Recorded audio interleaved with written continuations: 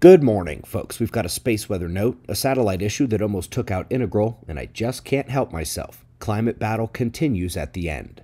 Let's get started at spaceweathernews.com, and we find the last 24 hours on our star very quiet. The most minor motions only come with a total dearth of flaring. You can see the dark coronal holes turning towards the limb as well. Their solar wind is on its way.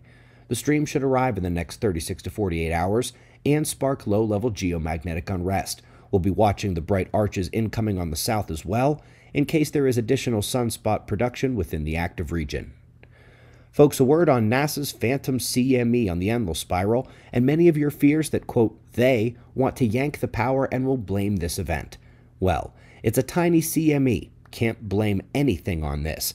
If they are trying to pull something, I'd imagine NOAA's Enlil spiral, which is the official one rather than that old model, would show it too, don't you think? And lastly, I mentioned this happened numerous times last sunspot cycle, and it did. It is what I said it is a non human computer model, and it makes mistakes. Over the next couple of days, we will indeed see an enhancement of the solar wind, but it's going to be from those coronal hole streams. Transitioning with seismicity, another six pointer strikes Greece, and luckily it was offshore, but that is a lot of activity here in the last two months, and we're off to Integral.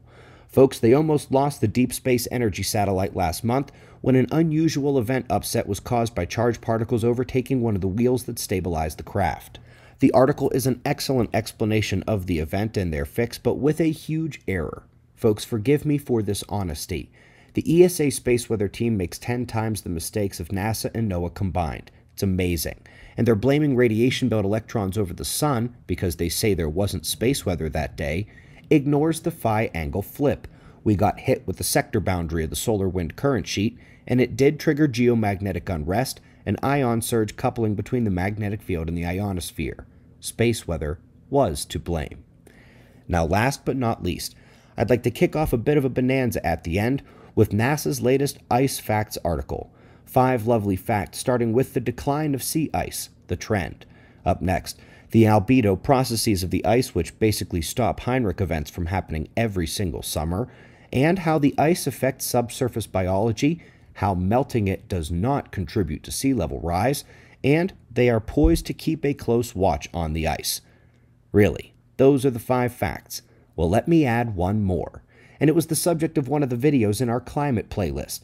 Folks, paper after paper the last couple of years comes out saying the extreme loss of sea ice at the polar region triggers cooling of the planet through ocean shutdowns and the heat transport and overturning circulation.